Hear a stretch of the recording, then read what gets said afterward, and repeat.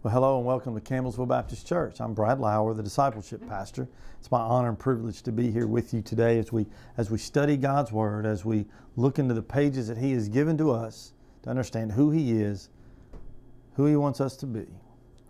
And so we're going to start a new series today. It's called The Character of a Follower of Christ or the Follower of Jesus. And so uh, we're going to look at some different things today. It's called it's going to be called The Call to Fruitful Living. It is um, as we look at who God is calling us to be and how that looks to other people. Um, and so we're going to look at that today. We're going to start in John chapter 15. And so if you have your Bibles, you may want to uh, turn to that at this point so you can follow along with me. And we're going to move around a little bit uh, within Scripture today. And so uh, be ready um, to move around a little bit as we as we look at God's Word and how it applies to our lives and how God wants us to be. Because if our lives, this is our truth, this is our sounding board, this is our guide. We everything goes back to this standard uh, to see if our lives are matching this, and if they're not, our lives need to adjust to the Bible. So many times um, we try to adjust the Bible to our lives instead of our lives to the Bible. And so that's what we're doing. To God's Word, we're going to adjust our lives to God's Word, not to our own selves. So, anyway, we're going to look at that today. Uh, and so, you know, in our path over the next um, few weeks, today we're going to look at the call of fruitful living. Then we're going to look at authentic, authentic love and action. We'll look at purity of life and integrity in living. So, those are, that's our path. That's our trail that we're going to go down over these next weeks. And so, um, as we get started, let's begin with prayer and then we'll we'll, we'll dive right in. God, we just thank you for today. We thank you for the opportunity we have uh, to be together. What amazing um, it is, how amazing it is to have technology that allows us to be in different places at different times, but to be able to communicate and be together in a sense and study your word. God, guide us today as we look at your word and study your word. In Jesus' name, amen. You know, so why do we need to study the character of a follower of Christ? You know, we tend to we tend to look at the external so much. We look we tend to look at the product that's being produced. We tend to look at our surroundings. We tend to look at um, all those kind of things. We we try to train. We train in our abilities. But I think we need to start looking more inward. We need to focus on the internal, because character or moral excellence, excellentness, excellence, ugh, flows from within. God wants to develop us in, uh, in us godly inner qualities as well as outward behaviors. And so we're going to look at that today because our behaviors are an example of what is really going on on the inside. You know, faith and works. I have the inner structure within me, the, the tools. The works are the outward expression of what's going on in my life and in my life, and it's over time. And so, as we use that filter, that's what we're going to do. God wants to develop in us godly inner qualities as well as outward behaviors. So, it's not a one or the other, it's both and, and it takes both. Uh, there's a definition of fruitful living, um, and it says, Who and what we are is more important than what we do. Being, being in character as you grow to be more, your being and your character are more important as you grow to be more like Christ in God's desire. That is God's desire for us to be more like Him in our being and in our character. So let's go ahead and look. John chapter 15, verse 1. I am the true vine, and my Father is the vineyard, or the vine dresser. Every branch in me that does not bear fruit, He takes away. And every branch that does bear fruit, He prunes, that it may bear more fruit. Already you are clean because of the word that I have spoken to you. Abide in me, and I in you. As the branch cannot bear fruit by itself unless it abides in the vine, neither can you unless you abide in me. I am the vine, you are the branches. Whoever abides in me and I in him, he is he it is that bears much fruit. For apart from me, you can do nothing. Simply put, we're looking at a metaphor, and, and the growing of, uh, of uh, grapes and other vine fruit was very common And it was a very easy definition for people to understand because um, if something is dead, you need to cut it all the way back.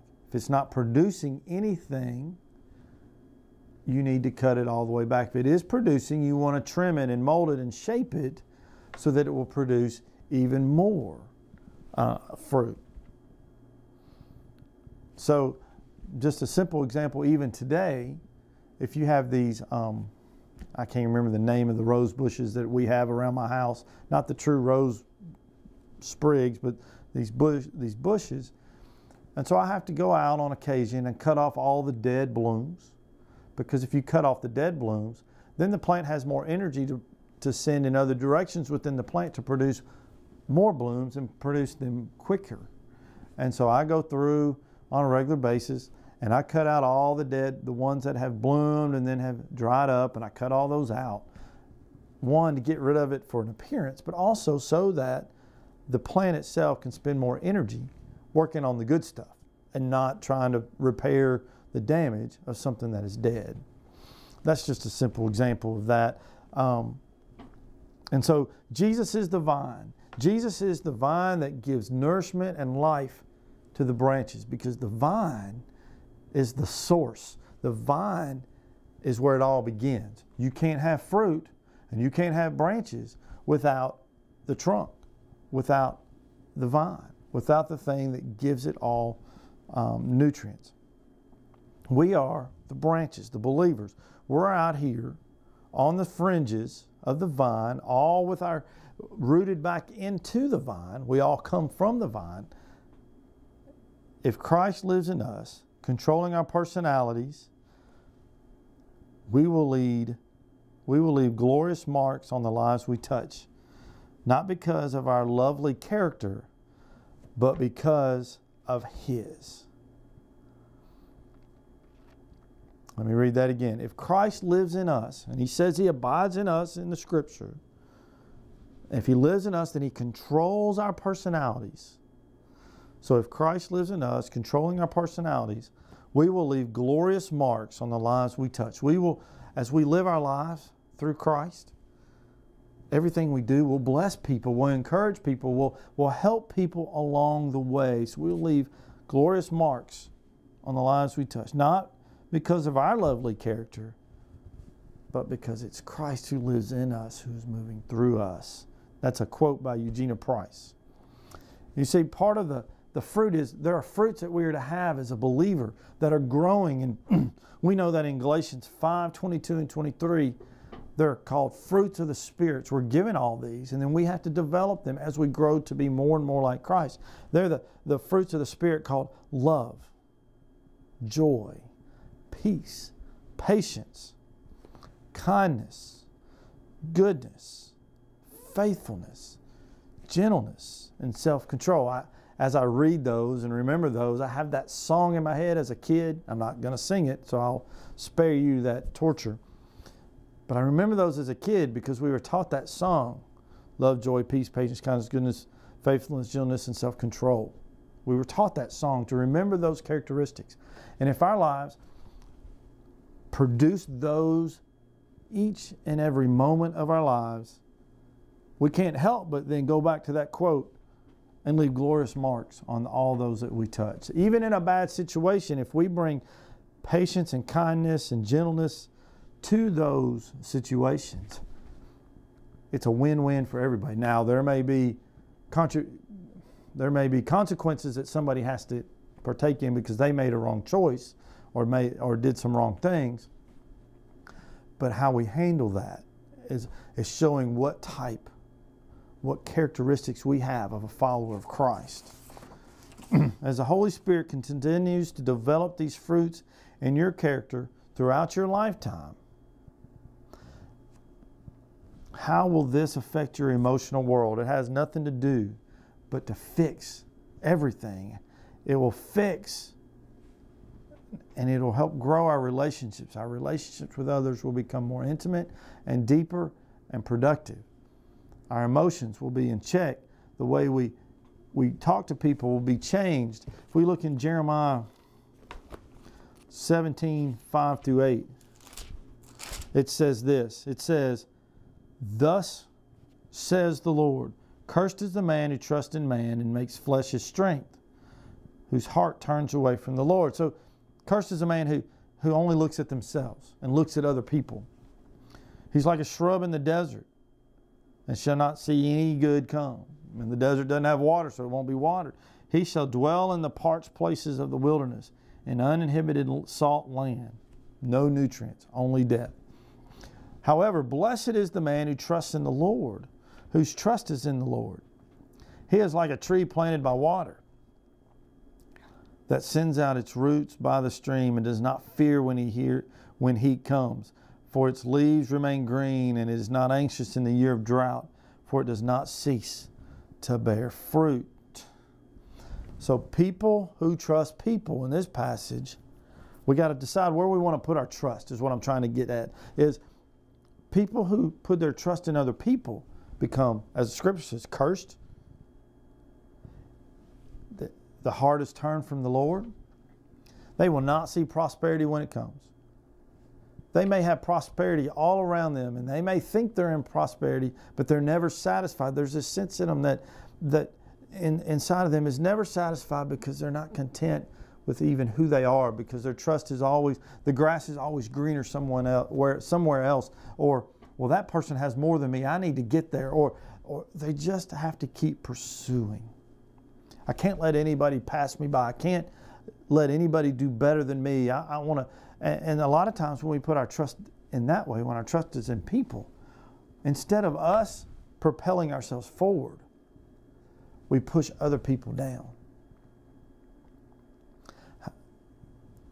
In other words, we will be a bush in the wasteland A person who trusts in the Lord, however, is blessed. Don't we want to be called blessed?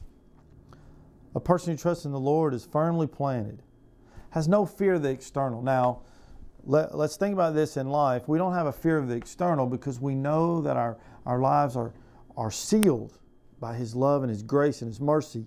We are forever His. So we don't have to have those type of fears. Now, we may fear some financial woes or some relational woes just because that's what happens. But we don't have to fear those.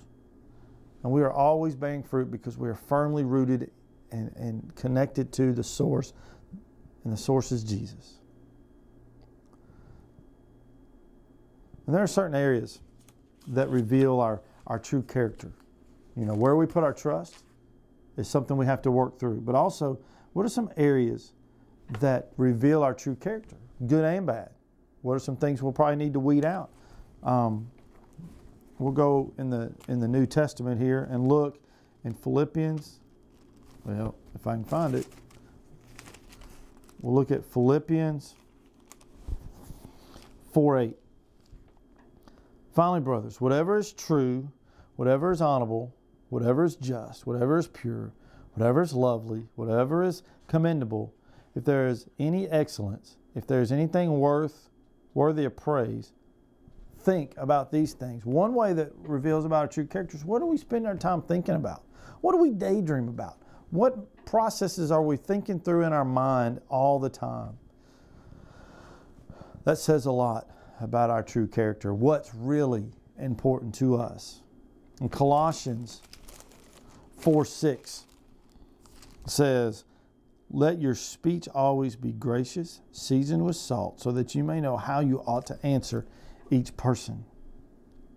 The way we talk, the things we talk about, the way we use words towards other people. Not just the words we use, but the attitude in which we say it reveals our character. Then we look in 1 Peter. 1 Peter 2:12 says this Keep your conduct among the Gentiles honorable, so that when they speak against you as evildoers, they may see your good deeds and, and glorify God on the day of visitation. How do we live our lives or conduct ourselves in public reveals so much about our true character. And if we're to develop the characteristics of a follower of Christ and we're to be called to fruitful living, are we producing those fruits? Are we producing in our the way we talk, with what we think about, how we live our lives? Do they ex- ex- illustrate love, joy, peace, patience, kindness, goodness, faithfulness, gentleness, and self-control? Is that is that what is going on? We also can look in Ephesians. If I can find uh, Ephesians four. Ephesians four thirty one, and it says this. Let all bitterness and wrath and anger and clamor and slander be put away from you along with malice. Be kind to one another, tenderhearted, forgiving one another, as God in Christ forgave you. It's also how we treat other people. And so, are the characteristics, are the fruits of the Spirit love, joy, peace, patience, kindness, goodness, faithfulness, gentleness, and self control coming out in what we think about? Are they being illustrated in what we say and how we say it and how we, how we conduct our lives in public and private and how we treat others in that process? How those things happen is where we really are in our walk with Christ and what fruits of the spirits have truly been developed. In Luke 6:45 I told you we were going to be everywhere today. 645 says this The good person out of the good treasure of his heart produces good, and the evil person out of his evil treasure produces evil. For out of the abundance of the heart, his mouth speaks. So, the condition of our heart where we are with our relationship with Christ, where we are in our, our spiritual journey, where we are in the discipleship process of growing to be more and more like Christ, is what comes out of us at all times. And if we grow to be more and more like Christ, we will be more and more like Christ. We will be more and more in the, in the, in the way Christ has called us to be. So we've looked at who we are, the vine and the branches, and we're the branches. We've looked at what characteristics are, are supposed to be growing within us. And then we've run those through where we put our trust, what, how our character is revealed, and what the produce is there. Now let's look at wisdom and godly wisdom. And so we're going to look at James chapter 3, verse 13 through 18. Who is wise and understanding among you? By his good conduct, let him show his works in the meekness of wisdom. But if you have bitter jealousy and selfish ambition in your hearts, do not boast and be false to the truth. This is not the wisdom that comes down from above, but it is earthly, unspiritual, and demonic. For where jealousy and self, selfish ambition exist, there will be disorder and evil practice and, and every vile practice. Sorry. But the wisdom from above is first pure, then it's peaceable, it's gentle, open to reason, full of mercy and good fruits. There it is again, impartial and, and sincere.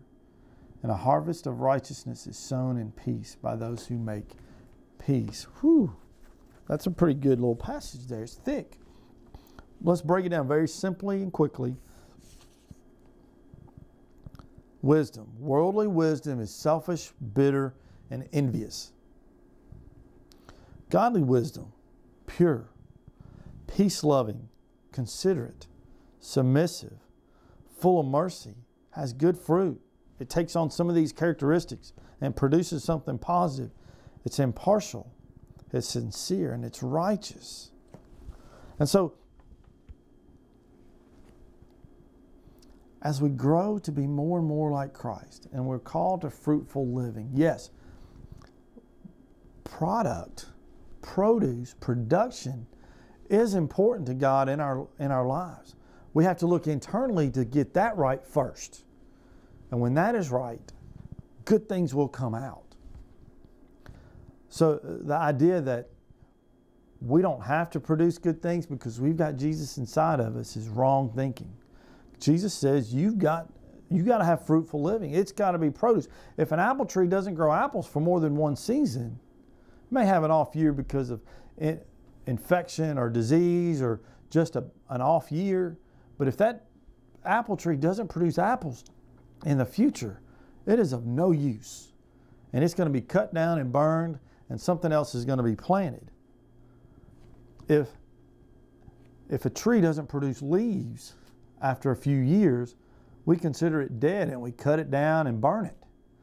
Um, just like that with our Christian lives, if we're not producing godly things from our lives, and I'm not talking about balance sheets and and uh, numbers and um, products per se, but I'm saying if our lives don't show evidence of Christ being in us and being productive, God says He cuts them off.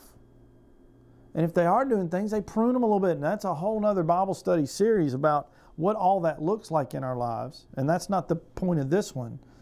And so that is the point. We've got to do that. And we, and we do that through the different filters of the characteristics that are to come out. And then who do we put our trust in? And then how are those things truly revealed? And where do we get the wisdom? So then a fruitful life looks like this. If we look in 1 Peter 1, I got to find it, 13 through 16. Therefore, preparing your minds for action and being sober minded, set your hope fully on the grace that will be brought to you at the revelation of Jesus Christ. As obedient children, do not be comfort, conformed to the passions of your former ignorance, but as he who called you is holy, you are also be holy in your conduct, since it is written, You shall be holy, for I am holy. If you have Christ in your heart, you're holy because He is.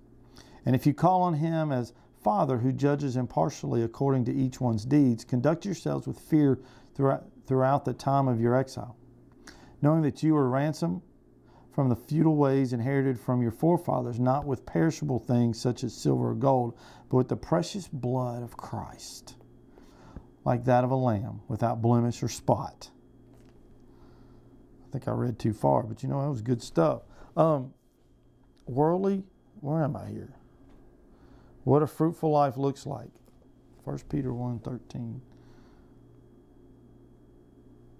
Sober-minded. You to be self-controlled.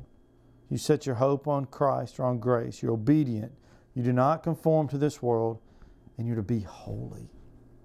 That's what a fruitful life looks like. How does yours compare? Are you producing the fruit of love, joy, joy, peace, patience, kindness, goodness, uh, faithfulness, gentleness, and self control? Are you self controlled? Have you set your hope on Christ, on grace? Are you being obedient to the call of Him on your life? We have a lot of Christians today who are just flat out disobedient. They say they're Christians. And yes, they've made that decision and they are sealed by God's grace, but they are be, being disobedient in the way they live their lives.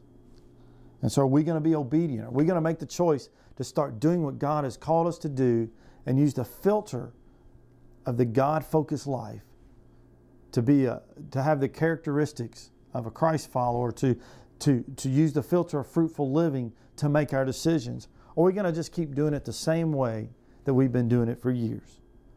Are we going to conform to the world? Do, do our lives look any differently than those who do not profess Christ? Is there enough evidence? And carrying a Bible and going to church on Sunday is not enough evidence of a, of a Christ centered life. It's not. Because even people who are lost go to church. They worship something. We all worship something. So, what, what makes our lives different? Could we be convicted? I mean, I know that's an old saying and, and has been around forever, but is there enough evidence to say, Brad, you're a Christian. I can tell by the way you live your life in this society that you're different. And I want to know why you live that way. Do people come to you and ask you that so that there's enough evidence? Living in the Bible Belt, even in central Kentucky, um, it's hard because we all look alike and we all sound alike, we all talk alike, we all do the same kind of things. But how is your life different? How are you being how is your life producing fruit in a way to make you seem and be different in your community? Can't do it alone. When we try to change our, own, our character and our behaviors under our own power, we fail. And so in 2 Peter 1 1 through 8, 2 Peter, so I need to turn the page. Um, it talks about, I'm not going to read it for, for lack of time, but it says, basically, it says, God produces knowledge. Knowledge produces self control. Self control produces perseverance. Perseverance produces godliness. Godliness produces brotherly kindness. And brotherly kindness produces love. For if these qualities are yours and are increasing. They keep you from being ineffective or unfruitful in the knowledge of our Lord Jesus Christ.